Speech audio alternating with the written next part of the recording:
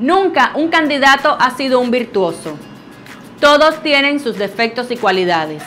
Lo interesante del tema es que desde marzo del año pasado, la alcaldesa Mara Lezama nos tiene sujetos a severas restricciones sanitarias que ni ella misma entiende para qué son, con el afán de demostrar que le preocupa a la ciudadanía y de esta forma obtener su voto, como lo es la sana distancia, que ni ella cumple ahora que está nuevamente en campaña.